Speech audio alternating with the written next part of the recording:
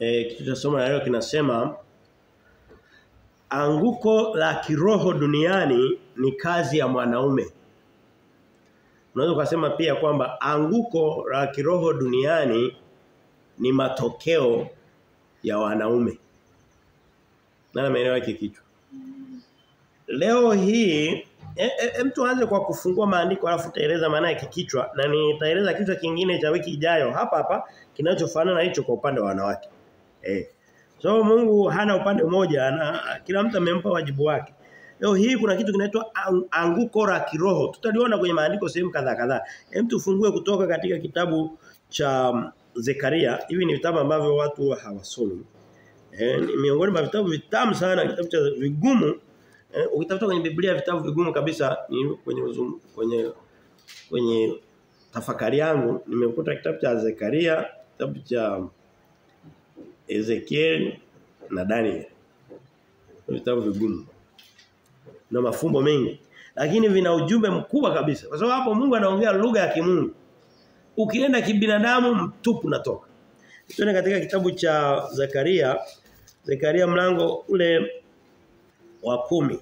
Some Zakaria ni, ni kitabu cha pili kutoka mwisho wa agano la kale. Kwa hiyo ukienda katikati utaona agano jipya na kuanzia Mathayo Ukienda kushoto utakuta Malaki, Malaki, unaenda kushoto kwake zaidi Zekaria mlango wa 10 ni katikati ya Biblia pale. Mlango wa kumi mstari wa 3 anasema hivi.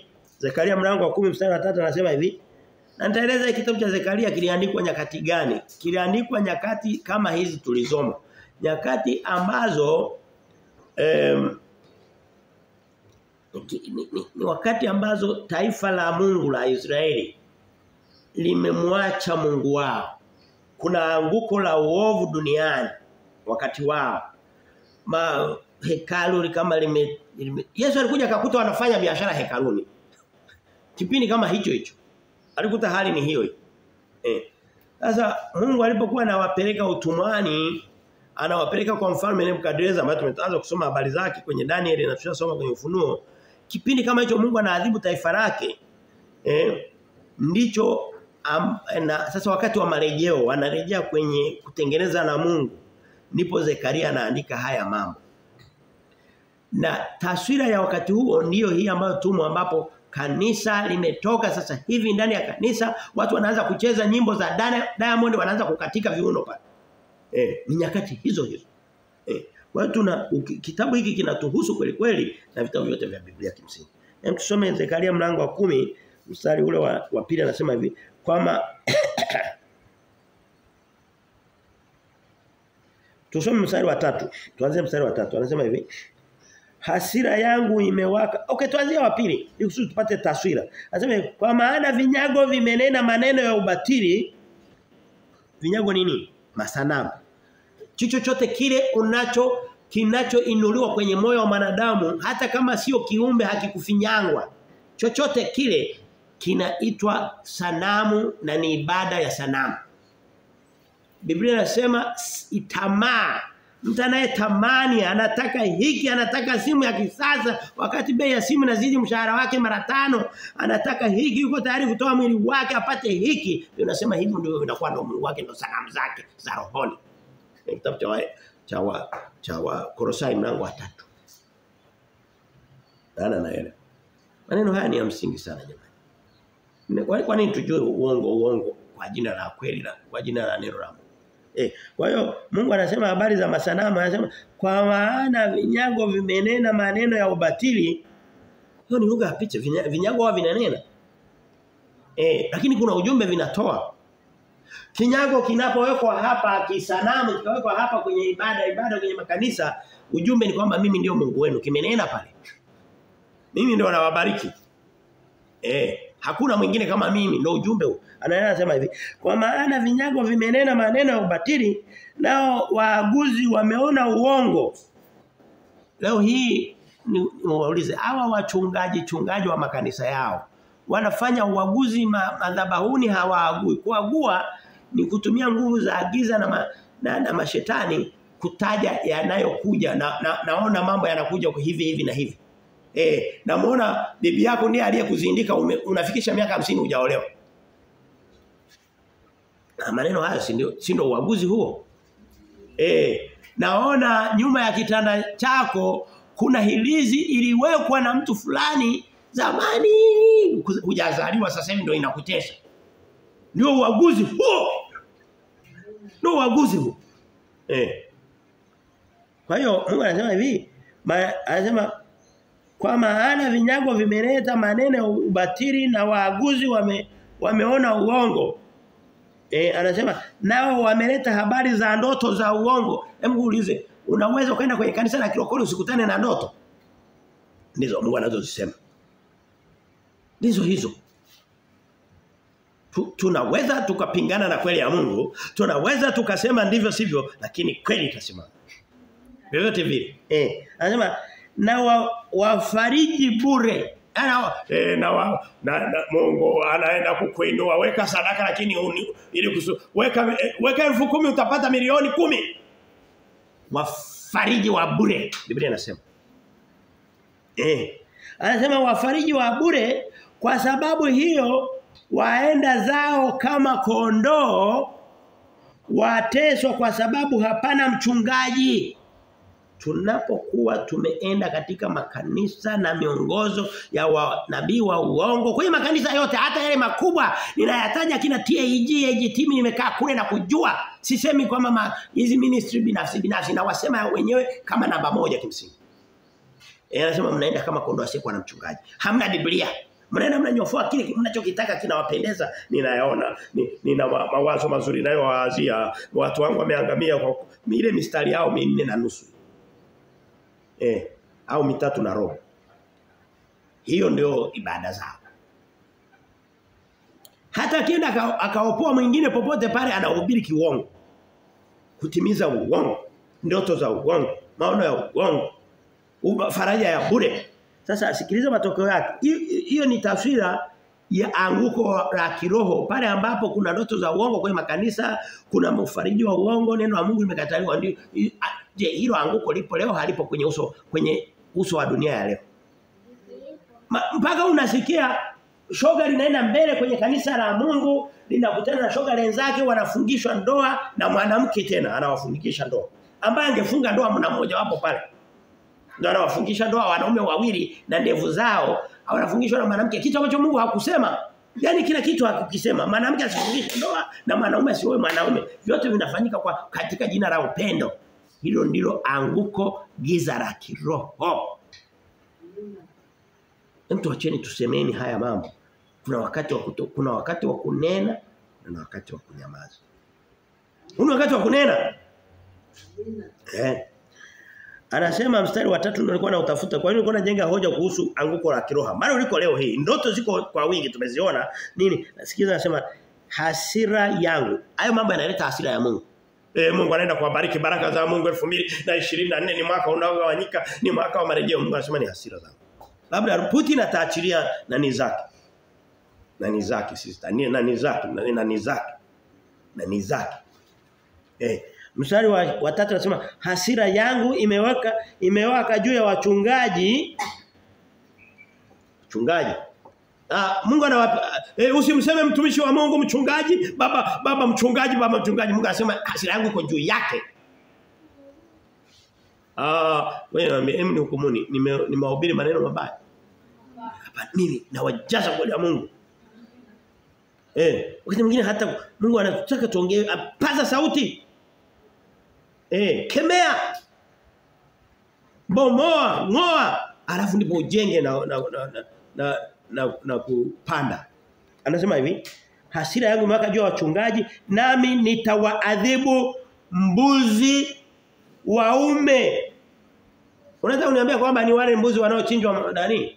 Ana mbuzi waume ambao Mungu amekasirika nao. Unaweza kuniambia kwamba ni yale mabeberu ya pale Kibaha wanapochinja mbuzi wanafika hata 500. Mungu anaposema amekasirika na wachungaji, alafu ana hasira na mbuzi wanaume. Unahisi unahisa naongea na mbuzi? Ah, tuseme ukweli. Kwani amesema nami nitawaadhibu mbuzi wa kike? Ngoja niwaambie, kichwa cha somo leo kinasema anguko la kiroho duniani ni kazi ya mwanaume. Ukianza na wachungaji, sio kawataja pamoja, kawataja wachungaji kataja na wanaume. Kwa sababu ndo hao hao. Leo hii ukikutana na binti asiyeweza kukaa kwenye ndoa yake, nenda katafute kosa la baba sio la mume wake ni la baba yake. Mtu ambaye hakuwahi kuambiwa kwamba unatakiwa kuja nyumbani saa tatu usiku, hakuambiwa mpaka anafikisha miaka ishirini na tano anaolewa, hawezi akafanya hivyo kwenye ndoa hata siku moja. Alitakiwa ameambiwa na miaka mitatu, mitano, saba, kumi na mbili, kumi na saba akiwa chini ya baba yake. Ah, ndio sio. Ah, ndio sio. Ah, sio. Ni kosa la wanaume. Leo hii ukitoka ukitaka kwenda nenda katika makanisa. Sasa hivi makanisa yamekuwa mali ya wanawake na watoto. Wewe wamekatika kundi kabisa ambalo Mungu alikuwa ameikabidhi jukumu la kusimamia imani katika kanisa isiyo isiyotikisika isiyotingishika unshakable unsurmountable lugha ya Kiingereza. Imara thabiti stout powerful. Eh ni wanaume. Sasa hivi wamekaa pembeni wako busy na mipira wako busy na baa wako busy na upuzi. Wanakwambia makanisani ni kwa wanawake na watoto Mungu anasema nina hasira na, na mabeberu. So mbuzi wa kiume ni beberu. Na sio by the way Mungu anapotumia neno mbuzi hamaanishi kitu ki, sio sio sifa nzuri.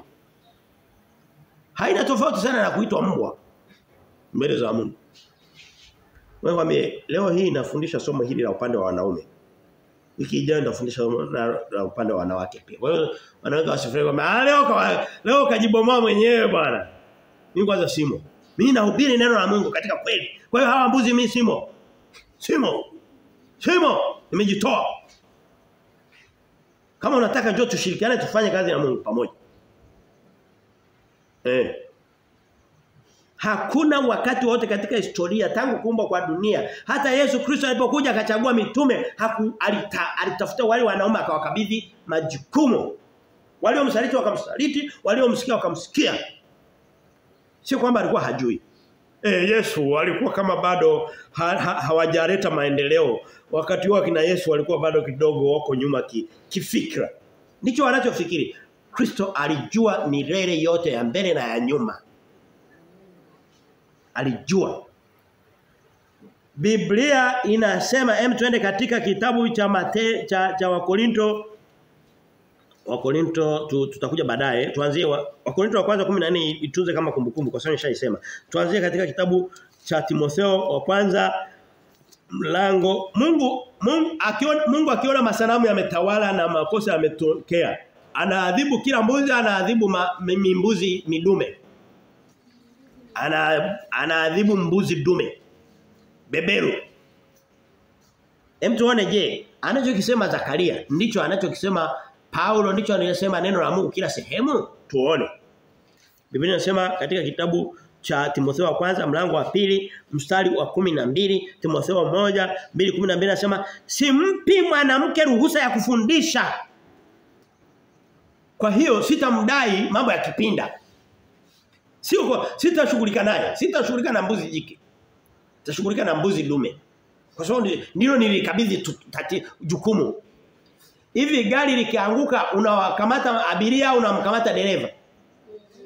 Wewe unamuuliza dereva ndo makosa yake. Eh, ndio hivyo. Ndio hivyo hakuna zaidi hapo. Ah, mbona hawakunishtua nilikuwa nasinzia na nilikuwa nasinzia kwenye usukani uko umekaanga moto uko umeshika usukani.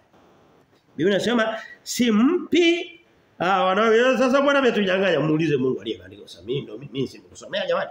Yaani Mungu muulize Mungu nenda kama Mungu bwana bwana bwana bwana hebu niambie kwa nini hukunipa hukunipa ruhusa ya kuhubiri. Bwana bwana bwana bwana. Bwana nenda kamuulize kwenye kwenye nani kwenye ndoto zako.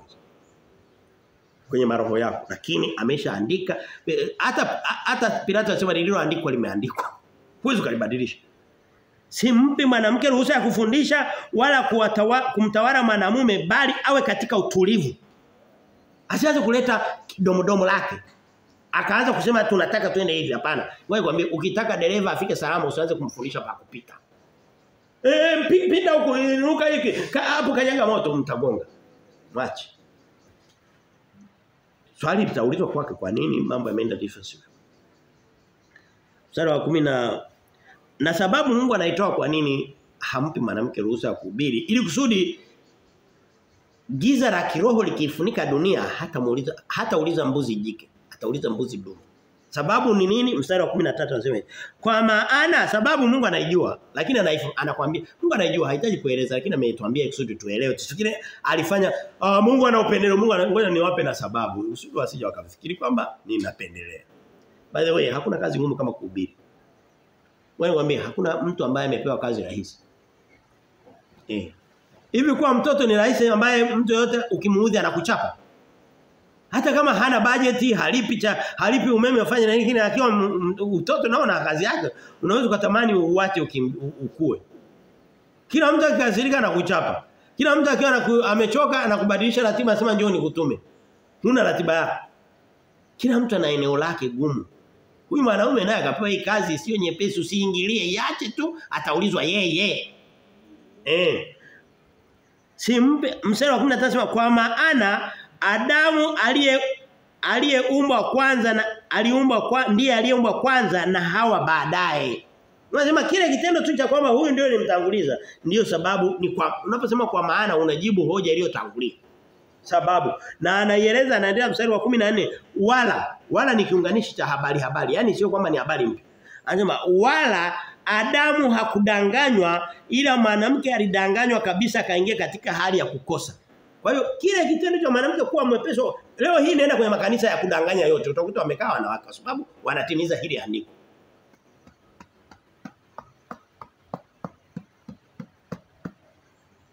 Eh. Mungu anasema kwa sababu ninaona Adamu alikosa.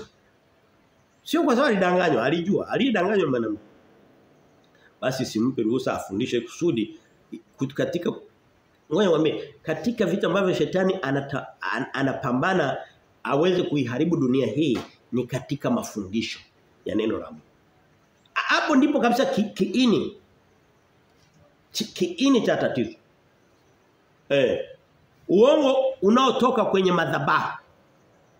Sasa Mungu anasema kwa sababu shetani watafuta na tafuta wa kumdanganya. Hii kazi ya kudanganya ngoja nimpe nani? E, e, ya kuhubiri nisimpe huyu anayedanganyika. Ni mambo ya Mungu. Unaweza kusema mbona kama umpendelee jamani mimi? Kwani mimi mimi nimehusikaje hapa jamani? Hem niambie. Niteteeni.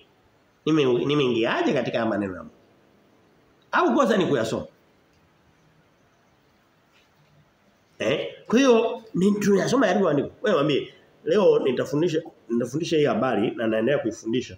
Wiki ijayo jiandae kabisa kusikia. Nitafundisha anguko la kifamilia ni kazi ya mwanamke. Ukweli ulionyoka kama rura. Anguko la kiroho kazi ya mwanaume. Anguko la kifamilia duniani. Mwanamke. Eh, hawakuongea vizuri vyovyote vile kazi ya mwanamke. Kwenye kwenye imani huku kwa kwa kiroho wote mbona ni wote? Si nusu ni wa ndio nusu lakini kazi ya mwanaume. Ndio tunamuuliza. Mbuzi dume ndio tutaliuliza. Biblia nasema eh, mwanamke mpumbavu nitangulie kuhubiri somo la wiki ijayo ambaye hata kuja aondoke na kipande chake cha leo. Eh mwanamke mpumbavu anaibomoa nyumba hajaje kusema mwanaume anaibomoa nyumba. Kwa mikono yake. Kwa hiyo ni la wiki ijayo Na niko pamoja na mimi.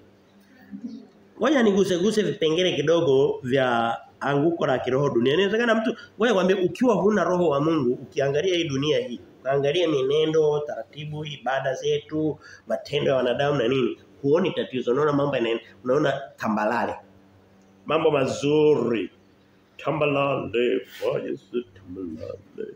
Eh, tambalale. Eh.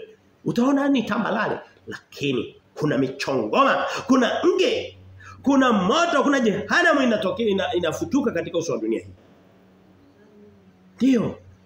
Kuna ushoga ambao picha ya ushoga mbele za Mungu ni, ni, ni Sodoma, ni moto, ni kiberiti.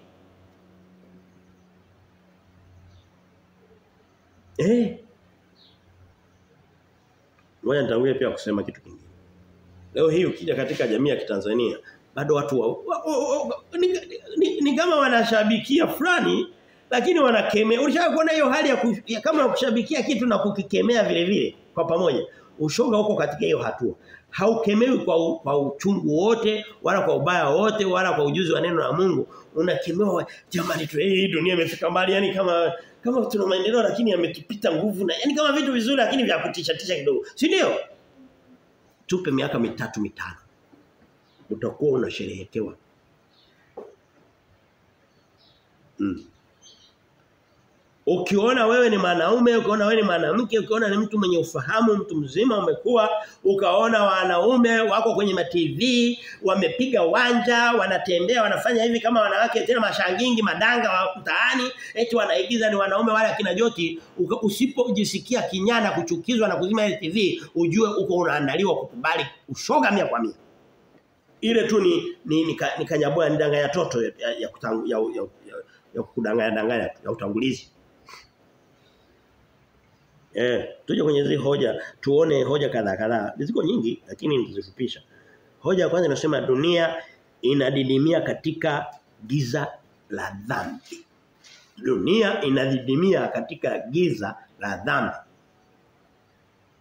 Leo hii ukiwa mhubiri ukagusa kitu kinacho dhambi, umechokoza sisi sio sisimizi. Wale wengine wakali wanaitwaje?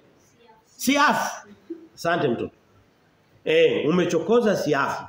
Hubiri vitu vingine usiguse dhambi. Eh. Usiguse dhambi. Eh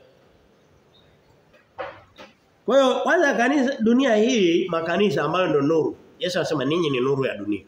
Anasema iwapo nuru yomo ndani yenu ni giza, si giza totoro hilo.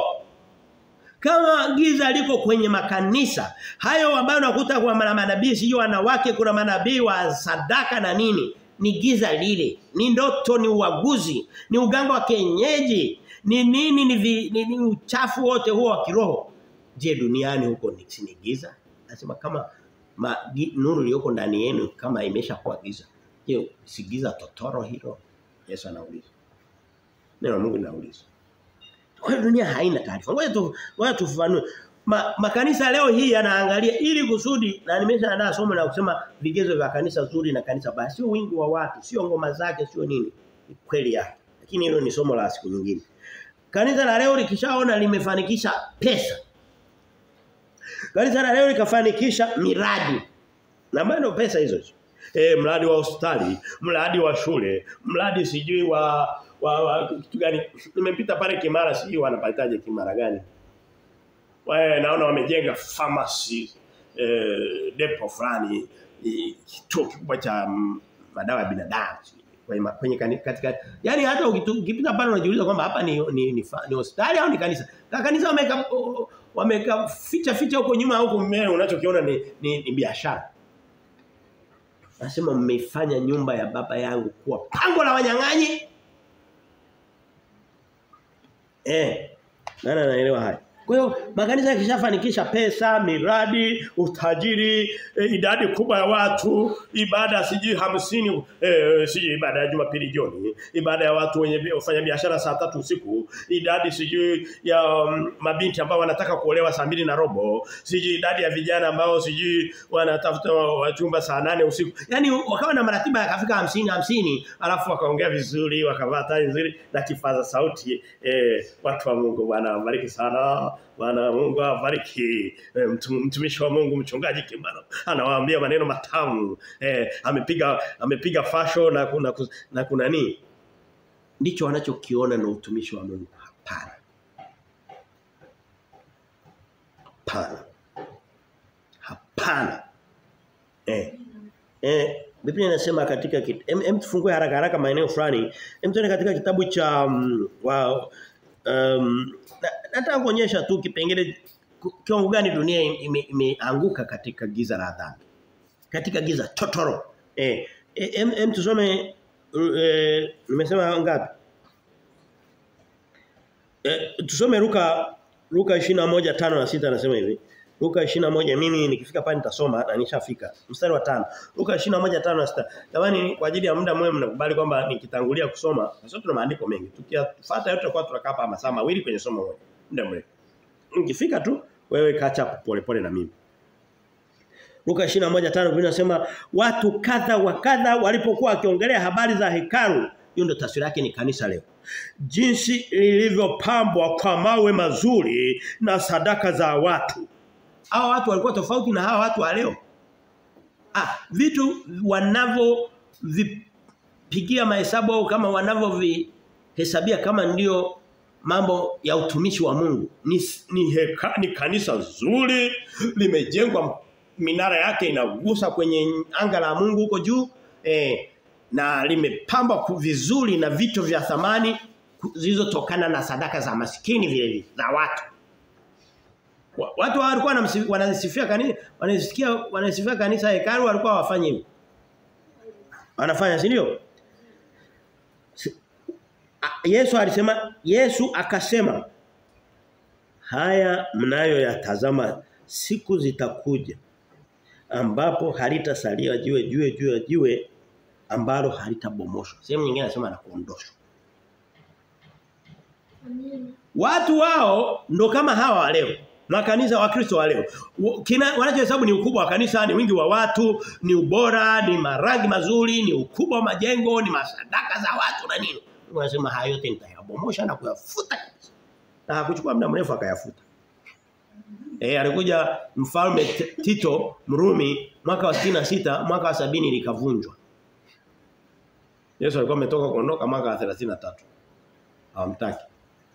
Uwezo kumuondosha Yesu kabakiza vitu vingine ukabaki navyo atakuondosha. Sema wote wasionitaka, wasionikubali, wasiotaka maneno yangu. Wanaye anao hukumu sio mimi, ni neno hili neno. Neno la Yesu ndio lihukumu ile kanisa lile hekalu la Yerusalemu likavunjwa halikuwahi kujengwa mpaka hivi naongea dakika hii ya leo hii. Saa hii halikuwahi kujengwa miaka imepita kama 2000 kasoro. Eh. Sababu hakupendezwa nalo, alikuwa alimtumikii. Kanisa makanisa ya leo makubwa makubwa yaliyojawa na na sadaka za watu na wingi wa watu wakaliweka pembeni neno hawataki nini? Unasema litabomoshwa. Unasema sasa linaungana vipi na, na na wanaume kwamba wanaume ndio walikuwa na jukumu la kuweka haya mambo ya kiroho sawa sawa. Wamekaa pembeni au wamo kama hawamo wamo wa, ni, ni wanaume kama mabiti hawana tofauti. Sasa hivi mwanaume wa leo hana tofauti na kisichana kivulana. Eh ah ndio sio. Jamani maneno yangu mwe mnayathibitisha. Ndio useme hapana kama nimedanganya wewe unasema umedanganya. Na nitakwambia sijadanganya. Sasa tunaona kwamba hiki ambacho watu wanahesabu kwamba kuna mambo yanaenda vizuri. Tumefungua makanisa kila sehemu, kila kitongoji kina kanisa ndio. Mungu anasema kuna giza kwenye uso wa dunia. Eh hayo makanisa hayatendi haya mapenzi yangu. Biblia inasema katika kitabu cha Wakorinto wa pili tusifungue pale niitamke tu kwa ajili ya muda. Wakorinto wa pili mlango wa 4 wa, wa, wa, mstari wa 14 anasema hivi tusiviangalie vinavyoonekana bali visivyoonekana. Kwa maana vile vinavyoonekana ni vya muda tu, lakini visivyoonekana ni vya milele. Tunapowekeza katika neno la kweli la Mungu, katika vitu ambavyo uwezo kusema kwa mfano tukishatoka hapa na neno hakuna atakayeliona. Lakini mikanisa utaiona hata usiku itakuwa inang'aa imepigwa na taa zinawaka. Eh, wao wanaangalia vinavyoangaliwa, vinavyoonekana ukubwa na nini, lakini Mungu anasema tunaangalia vile sionekana. Ni watu wangapi wamemkiri Yesu Kristo? Ni watu wangapi wamebatizwa ubatizo wa maji wa kweli? Sio maji mengi tu pekee yake uliotokana na mtu aliyeamini. Ndivyo kwa hiyo dunia inaangalia vinavyoonekana, Mungu anaangalia visivyoonekana. Hawaangalii pamoja. Eh Twende katika kitabu cha Luka mbili ulikuwa kwenye 10 na, na, na 21 rudi kushoto zaidi utafika kwenye Luka mbili mstari tusome ule wa 49 anasema hivi Nimekuja kutupa moto duniani na ikiwa umekwisha kuwashwa ni nini nitakalo zaidi mstari wa 51 na moja naruka hamsini Je, mwadhani ya kwamba nimekuja kuleta amani na waambia la sivyo bali mafarakano. Pamoja na kwamba makanisa kuanzia kaskazini mpaka kusini magharibi popote pale wanatafuta amani, wanatafuta nini? Mungu anasema mimi nimekuja na nimeleta moto wake, nimekuja kuleta mafarakano. Eh. Sasa wewe niulize, ni Yesu yupi ambaye wanamwabudu? Huyu wa amani au huyu wa mafarakano?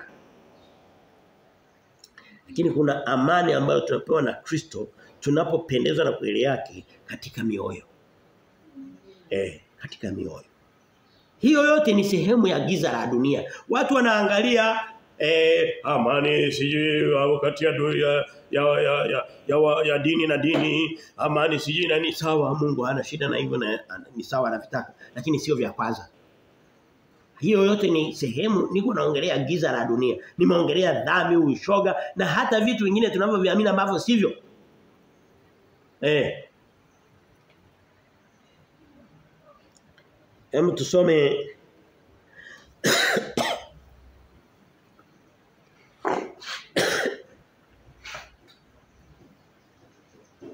Eno kwenye agano la kale vile vitabu ambavyo sio rahisi kwa watu kuvisoma. Tuvisome. Tuna katika kitabu cha Wafalme wa pili. Hapo kwa sababu ni pagumu kupatafuta kwa baadhi, nitachukua muda nikuruhusu ufike pale. Wafalme wa pili tafuta pale mlango wa tisa Eh Mkristo mzuri usiende kutafuta kwenye kwenye aliyomo. Mkristo Biblia haifunguliwi kwa aliyomo. Biblia ina, inafunguliwa kwa uzoefu. Umeisoma unajua kitabu fulani Zaburi iko katikati, Funuo kwa mwisho. Neno jipe liko hapa na nini. Lakini ukitafuta yaliomo eh au fahirisi pale mwisho maneno yalipo ujue usome Biblia sawa sawa. Biblia inasoma kwa uzoefu. Nani ameshafika pale? Wafalme wa pili Umefika pale? Mlango wa tisa Mstari wa 10 anasema hivi, ikawa Yoram huyo yoramu ni, ni mwana wa Ahabu au ni mwana wa Yezebeli. Alipomona Yehu akasema, "Je, ni ni amani Yehu?" Akajibu, Yehu anamjibu sasa. Amani gani? Maadamu uzinzi wa mama yako Yezebeli na uchawi wake ni mwingi kulingana huyo Yehu alikuwa ametumwa kwenda kuleta hukumu na kutakasa ufalme mtakasa ufalme wa wa wa, wa, wa, wa Israeli. Hapo Ahabu ameshaondoka alikuwa ni mfalme mkorofi mke wake alikuwa mkorofi zaidi ya Yezebeli. Sasa anatokeza pale wanaona mtu wa Mungu anakuja wanafikiri amekuja kuwaombea. Wakamuuliza vipi? Mbona umekuja kisharishari ni amani? Akasema hakuweze usitegemee kuwepo na amani wakati uasherati na uchawi wa wa, wa marikia ukiwa upo umejaa usitegemee amani. Ndicho huyo anachokiongea haina tofauti na anachosema Yesu. Yesu anasema nimekuja kwenye dunia yenye dhambi. Iliyo nikataa alafu niwatangazia amani na watangazia mafarakano ile. Na watangazia moto. Ah, maneno ni kweli. Unaweza kuniambia kwamba maneno ukiondoka hapa yatakunyima amani kwamba nimesikia neno likaninyima kumwamini Mungu. Pana ni ya Mungu ni utakaso huu. Usitake wa, wako wengi sana ambao neno la Mungu kwao ni lile Mungu anaenda kukudanganya.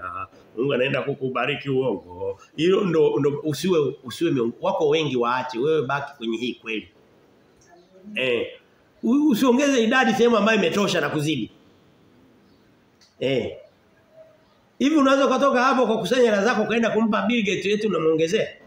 Dunia wako wamejaa mabilioni wanaamini uongo wa namna hiyo. Basi baki upande huu ambapo hakuna wengi. Nje nenda kwenye kwenye uharibifu ni pana na wengi wanaoenda humo ni wengi wanaoiona. Wewe baki katika kweli. Eh. Kwa hiyo hawa wanaume ambao wamepewa kazi ya ibada ambao ndo eh, ni mbuzi dume ambao Mungu ana hasira nao tutakuja kuona matokeo. Hasira ya Mungu huwa hai Mungu ni tofauti unajua wewe wa binadamu tuna upungufu na sio tukubali ule upungufu ni mzuri. unapata hasira unakosa cha kufanya inaishia ndani ya kifua chako. Ndio sio? Mungu hayuko hivyo. Hasira ya Mungu huwa in, in, inafanya kazi. Kwa sababu hapunguki. Na mwache Mungu aitwe Mungu. Wanadamu tungekuwa na hasira, alafu tukawa na cha kufanya tungeshaua watu. Tungeshachoma nyumba za watu. Ziache wakati mwingine zifie ndani ya vifua vyetu. Lakini ya Mungu lazima ifanye kazi itakase. Eh. Unasema hasira ya mwanadamu haitendi mapenzi ya Mungu. Eh. Lakini ya Mungu tutakuja kuona Mungu anapochukizwa hivi sio kama anaacha hivi. Hem tuende katika kitabu cha tu, tuendelee kuangalia giza la dunia. Eh. Tuende kusoma tusome katika kitabu cha Timotheo wa kwanza Timotheo wa kwanza mlango wa nne na, na, na hapo ninafanya kama kugusagusa. Huwezi kumaliza hivi vitu ni vingi. Eh. Timotheo wa kwanza nne moja anasema hivi basi roho anena waziwazi ya kwamba nyakati za mwisho wengine watajitenga na imani wakisikiliza roho zidanganyazo na mafundisho ya mashetani. Eh. Anaenda mbele twende kuna mafundisho ya mashetani yamejaa katika makanisa. Eh em twende tulikuwa kwenye Timotheo twende Timotheo wa pili mlango wa tatu anafafanua hii hoja zaidi. Mstari wa kwanza anasema hivi Timotheo wa pili tatu moja anasema lakini ufahamu neno hili ya kuwa siku za mwisho ametoka kusema habari za siku za mwisho kwamba watu watakuwa makanisani wahubiri mashetani. Eh wanafundisha mafundisho ya mashetani. Anaenda mbele anasema siku hizo zozo za mwisho anasema hivyo hivyo. Lakini ufahamu neno hili ya kuwa siku za mwisho kutakuweko na nyakati za hatari. Na nyakati za hatari mbele za Mungu. Na anaanza kutaja mambo yatakuwa yanaendelea. Watu wanapenda fedha kuliko kupenda Mungu, wanajipenda wenyewe, ni wakatili, ni wakorofi, ni wagovi, ni ni, wa, ni wa, wana hasira, ni wa, ni, ni, wachafu, wana tamaa, wanafanya kila kitu. Alafu wanaume na makanisa yao ambao ndio Mungu amewapa wamekaa pembeni mambo yanaendelea. Na waliomo wanaanza ku, ku, ku, kuwa sijini sijini nini kuodaini Kiswahili chake sitaki. Tuodaini Kiswahili chake nani? Kuwapaka ma, mafuta ili kusudi ndo aanze kutumika wala kama ni mchungaji nina nina mafuta mke wake. Anampaka na binti yake. Anampaka na, na shangazi yake, wanafungua na tawi huko na nini? Ni makosa hayo yote. Yote. Yote. Eh. Unasema ni siku za hatari. Mungu hivi kusema siku za mwisho watu wote watakuwa wanampenda Mungu na kutakuwa na amani. Hapana, ni watu wa makanisa ndio yanafundisha hivyo lakini sio alichofundisha Mungu. Sijawahi kusoma kwenye andiko sehemu yote ilipoandikwa kwamba basi katika siku za mwisho kutakuwepo na nyakati za amani. Hapana, kutakuwa ni siku za hatari. Ndicho anachosema. Eh. Na hazimpendezi Mungu. Ngoja nikwambie, wangekuwepo watu wanahubiri haya tunayohubiri hata kumi tu Tanzania, tungekuwa tunaenda vizuri zaidi. Eh. Hem twende tuko tuna niko nagusagusa maeneo ambapo giza linafunika. Hapo sijagusa ushoga nishausema tu kwa maneno. Sienda kwenye kitabu cha Warumi mlango wa kwanza. Sienda kwenye kote kote huko. Eh. Hem twende katika Watesalonike. Kama ulikuwa kwenye maneno ya Timotheo hapo, basi jirani yake kushoto kwake kuna wa Tesalonike. Timotheo, Tesalonike ni majirani. Kushoto kuna Tesalonike. Wa pili mlango wa eh, mlango wa wa pili eh, kitabu cha pili cha Watesalonike mlango wa pili na, na mstari wa tatu Biblia inasema hivi mstari wa tatu nasema mtu awaye yote asiwadanganye kwa ajili yo, kwa njia yoyote maana haiji usipokuja kwanza ule ukengeufu. Ukengeufu kwa lugha ya King James ametumia nini? Anasema great falling away yani anguko kuu kwa lugha nyingine yani uende kaskazini uende kusini uende taifa la mashariki uende taifa la magharibi uende popote kuna kuwa na anguko kwenye uso wa dunia la kiimani wewe kwambie Hizi imani za uongo unazoangalia nenda kwenye taifa la jirani, nenda hapo Malawi utawakuta kina Bushiri. Nenda hapo South Africa, nenda Zimbabwe utawakuta kina nani wengine. Nenda Kongo, nenda Nigeria ndo ndo, ndo baba lao. Nenda Marekani, nenda popote pale. Inaitwa great falling away ukengeufu mkuu. Kubwa. Hiyo yote haimpendezi Mungu. Mungu anasema nitawaadhibu niliowapa hiyo kazi. Nani anaelewa ama nini? Au umeshalala? Hoja ya pili nasema eh ndio umeenda sikujua. Ni jukumu la mwanaume kuwa macho kiroho.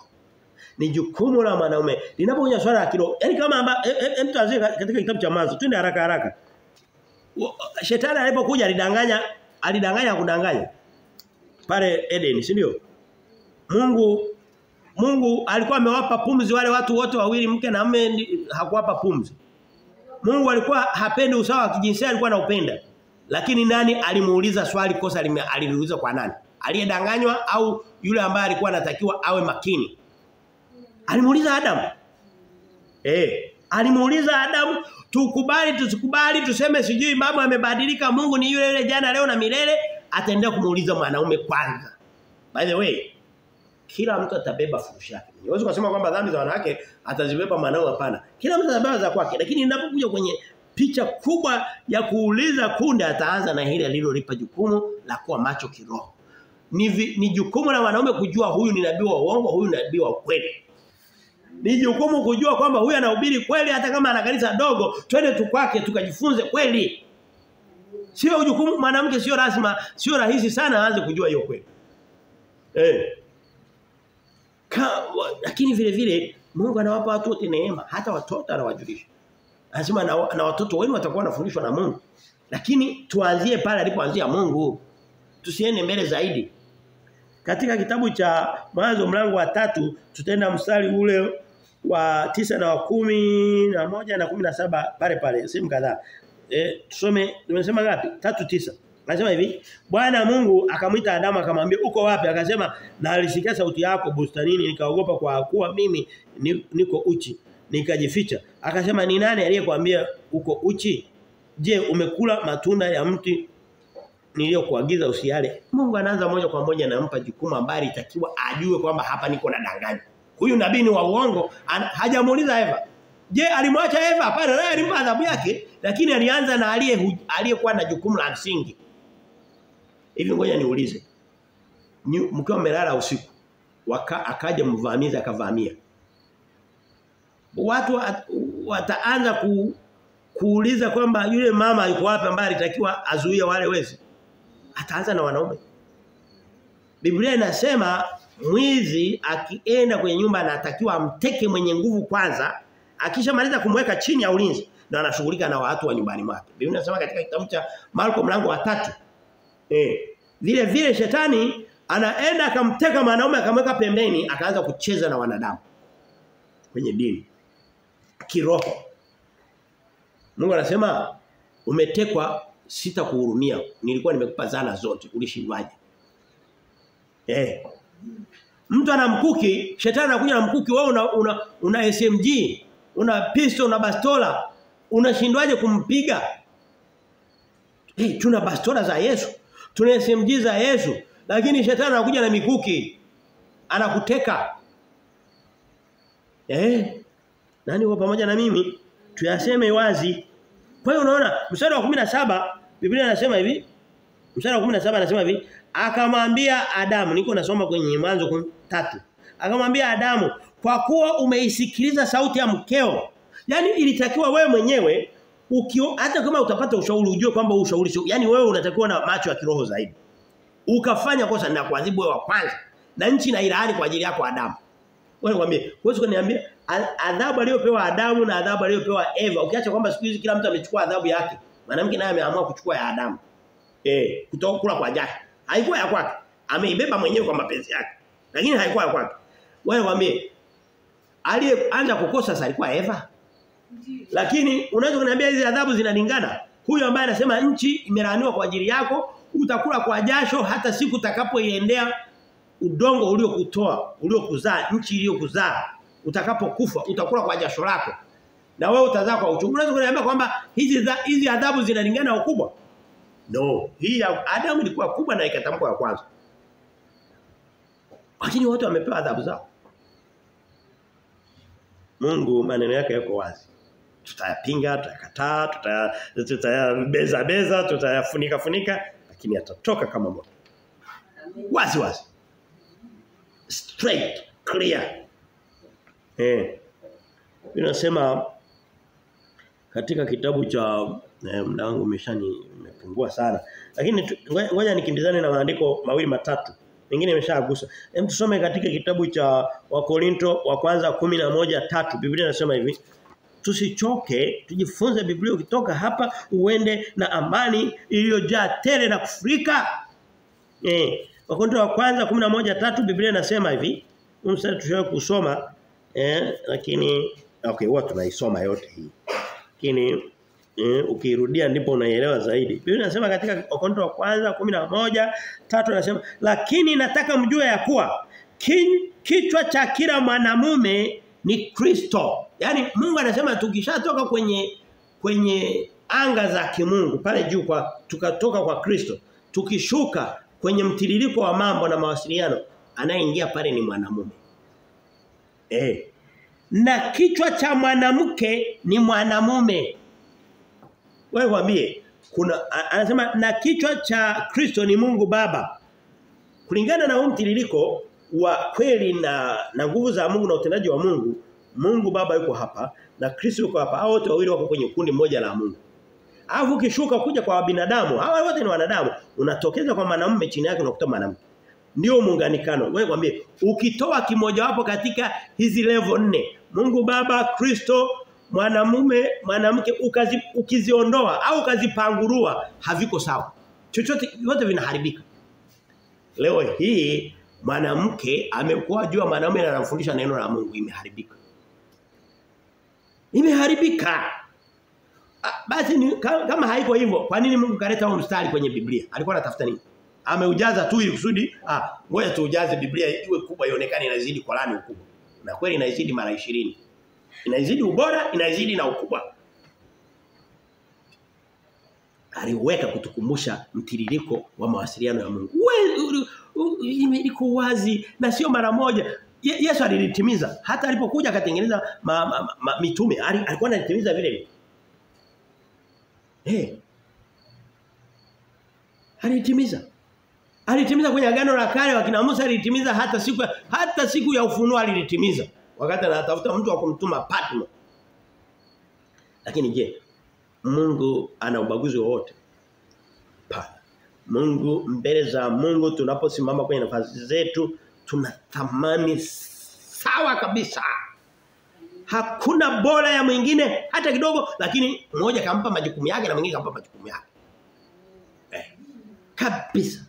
Sema watu kwa sababu ya kupinda akili zao wanataka kama vile ku, kutumia falsafa zao kudefine mambo ya Mungu wewe. Sasa kwa nini kampendelea huyu? Wewe ndio unafikiria hivyo lakini Mungu hana upendeleo. Biblia inasema Mungu hana upendeleo. Lakini haiwe kwa kuogopa kwamba watu watasema kuna upendeleo, hatuwezi kuacha kuhubiri neno la Mungu. Wewe umekuhubiri neno la Mungu ni vita. Ndio sababu naona tangu nianze kuongea hapa sijapunguza sauti yangu. Hey. Kweli. Biblia inasema katika kitabu cha Waefeso mlango wa tano mstari wa 28 eh e, kabla ya Waefeso tusome tulikuwa kwenye Wakorinto twende Wakorinto 14 alafu twende Waefeso. Twende kama ulikuwa kwenye Wakorinto endelea hapa hapo nenda mbele kidogo. Wakorinto wa kwanza 14 34 Biblia inasema hivi 14:34 wanawake na wanyamaze katika kanisa. Kanisa ndipo kweli ya Mungu ilipo ndipo nuru ya dunia ilipo Mungu anasema ili kusudi mambo yaende vizuri nataka wanaume wasalishe sehemu yote anasema kwenye Timotheo na wanawake watulie wajifunze. Eh anasema hivi wanawake na wanyamaze katika kanisa maana hawana ruhusa ya kunena bali watii kama vile inenavyo torati nayo. Nao wakitaka kujifunza neno wa, wa, wanyoshe mkono waulize. Hajasema hivi hapana. Anasema hivi wawaulize waume zao. Kama ni mwanamke mdogo wamuulize ba, amuulize baba yake kama ni mwanamke hana msaada amuulize mchungaji wake lakini sio kuanza kujibizana pale pale. Eh. Hatuwezi kumpangia Mungu utaratibu wake. Ame utaratibu wa Mungu umeandikwa sehemu gani? Humu.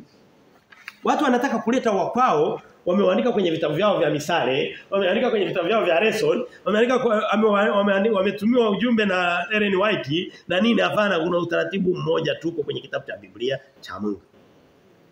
Eh. Bas. Bas. Muingizie sawa. Mpunguzie sawa. Ameshaeleza atakachokifanya kwa wanaoongeza na wanaopunguza. Tunajua kwenye ufunuo mlango wa 22. Eh. Kwa tunaona kwamba hawa watu amewaambia wanyamazi, amewaambia wa, wa, wasihoji hoji wa, basi hawadai siku mambo yakienda vibaya kiroho si, hawadai wao. Kwa sababu hakuwapa jukumu hapo. Ndio sababu anasema nitashughulika na, na mabeberu ya kiume. Mambuzi. Na ameatukana. Hilo sio jina zuri kuitwa mbuzi dume. We mbuzi wewe. We mbuzi wewe. Sio jina zuri. Eh. Hem twende katika Timotheo eh katika Efeso nilishasema. Twende kwenye Efeso msichoke tumalize.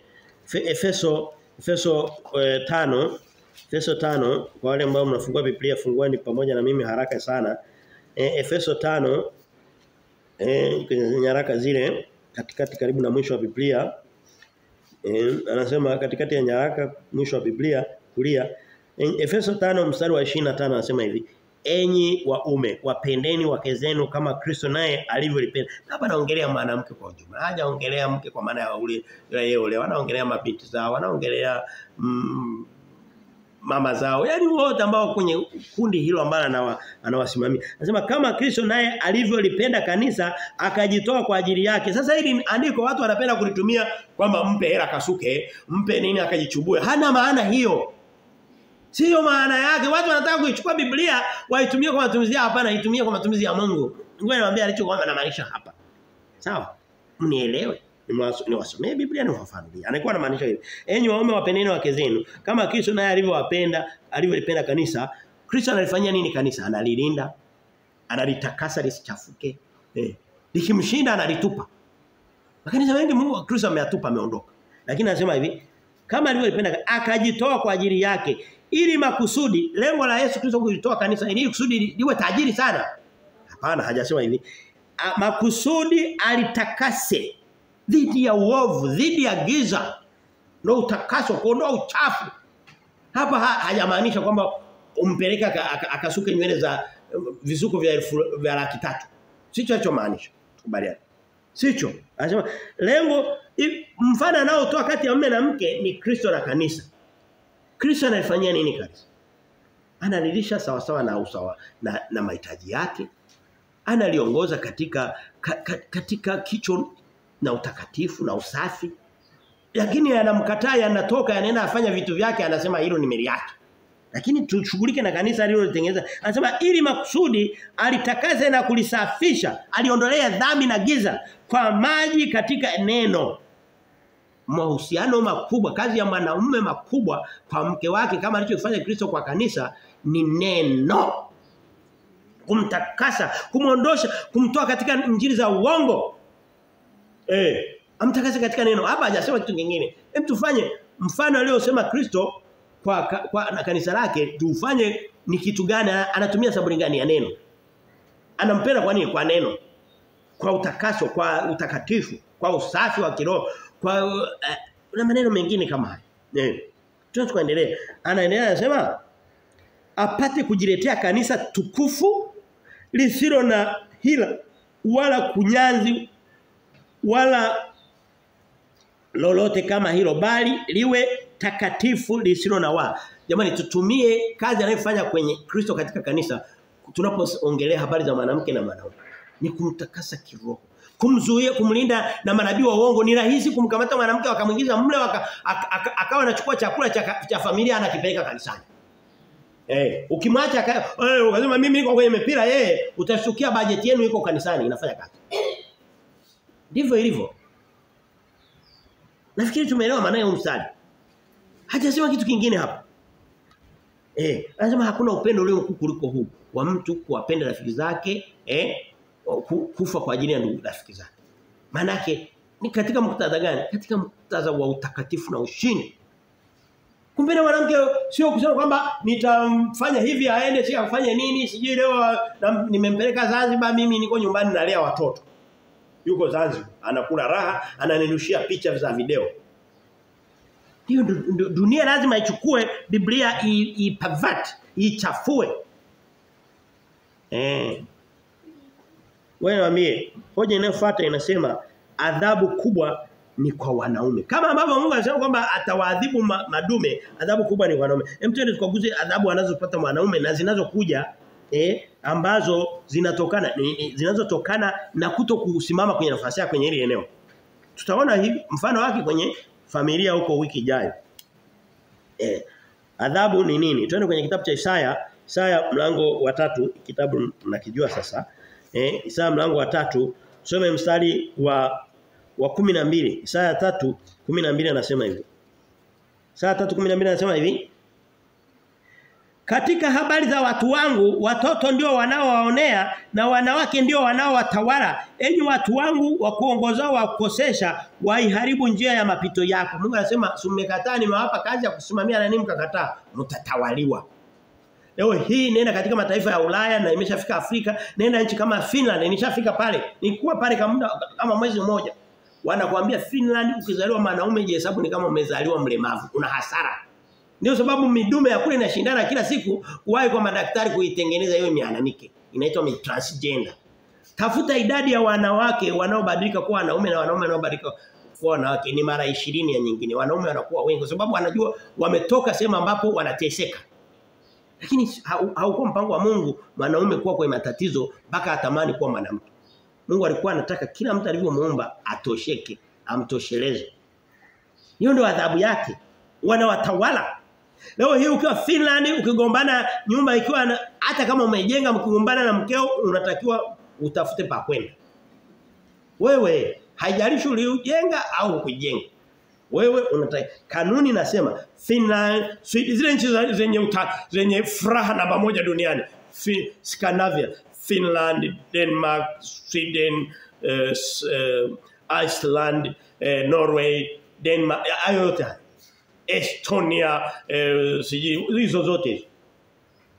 Wanateseka kwa sababu wame, wame Mungu anasema nitawadhibu madume. Nitayaondolea kichwa. Hakipo. Ukisha kuwa usipokuwa kichwa una, una, una, na dharauliwa. Tuko kwenye Isaya tatu 12 hiyo ni adhabu hiyo na hiyo ni adhabu ya kutangulia. Huko mbele kuna adhabu inakuja ya dunia ya wote.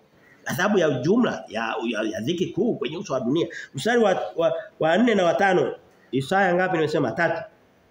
Anasema hivi nami nitawapa watoto kuwamiliki na watoto achanga kuwatawala nao watu wataonewa kila mtu na mwingine na kila mtu na jirani yake mtoto atajivuna mbele ya mzee na mtoto mnyonge mbele ya mtu mwenye heshima hii hali unapoona watoto wanadharau, wanapiga mateke, wanaweza hata akakuchukua uh, akachukua maji ya moto akakurushia ajali, akachukua chupa akakupiga ni matokeo ya mtu kutosimama katika nafasi yake giza likafunika dunia. Mungu ndicho anasema ndio matokeo yake. Hiyo adhabu hii. Biblia inasema katika kitabu cha Luka mlango ule wa 13 mstari wa saba Hem tuende pale. Eh? Biblia inasema katika Luka 13 tusichoke. Biblia inasema hivi, Luka 13 saba anasema hivi, eh ningeweza hata kuisoma kichwani.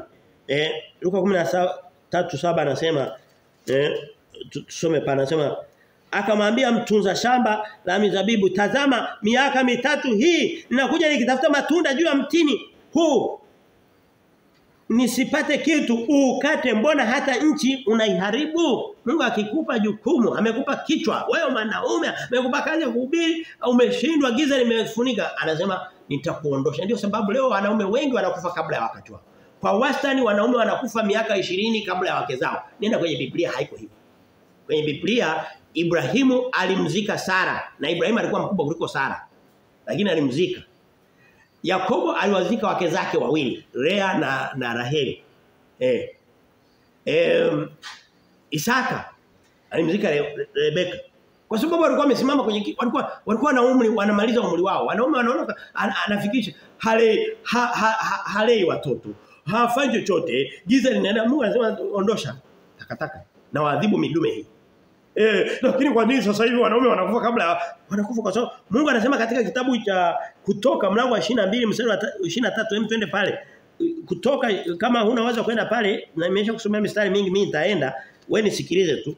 Kutoka 22 23 Biblia Mungu akichukizwa na watu ambao wameshindwa kufanya kazi yao anawaambia hivi kutoka 22 20 na tatu anasema hivi ukiwatesa watu hao katika neno lolote nao wakanililia mimi hakika yangu nitasikia kilio cha na hasira yangu itawaka moto nami nitawaua ninyi kwa upanga na wake wenu watakuwa wajane na watoto wenu watakuwa mayatima. Hapa anayemuondoa aliyemuua ni nani katika wanaume wanawake wamebaki mayatima. Kama mnavyo ma, wajane na ndo akisha baki mjane tu baada ya miezi mitatu anaanza kunenepa na kunawiri Eh, anapendeza. Kwa sababu anaanza kuja, anaanza kunywa pombe, anaanza kaja nyumbani usiku saa nane na nini, anaanza kuishi kidunia.